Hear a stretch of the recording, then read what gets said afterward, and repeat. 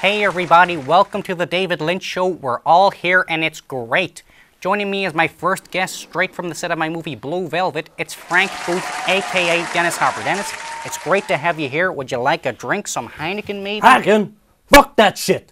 Blue ribbon. Welcome back everybody. My next guest is Special Agent Dale Cooper. Dale, how are things going in that little town of Twin Peaks? David, on February 24th, we discovered the body of homecoming queen Laura Palmer. But enough of that.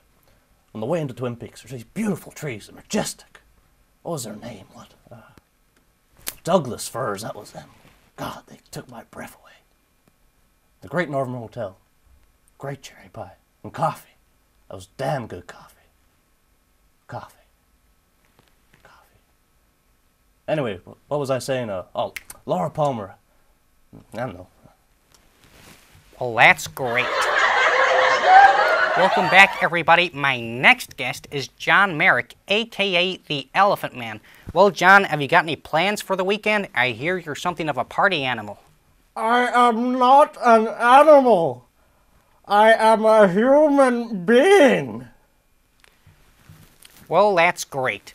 Well, looks like all we've got time for, ladies and gentlemen. So, for the final performance, please welcome the man from another place dancer.